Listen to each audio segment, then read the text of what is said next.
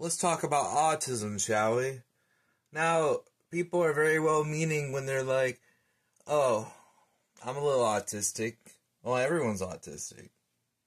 But that's demeaning my struggles.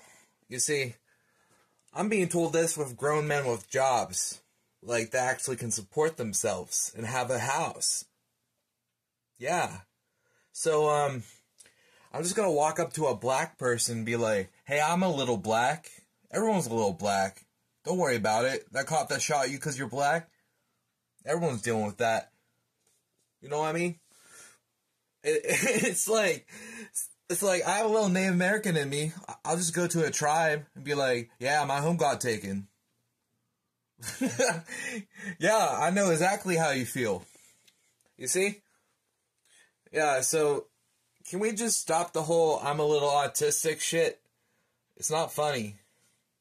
Though I'm here dealing with depression, mania from my bipolar, which is very linked to the, with autism, and um, worrying about every little thing that I text, uh, constantly uh, crippling, crippling anxiety. So I'm not here to have a pissing contest with anyone else. We all have our problems.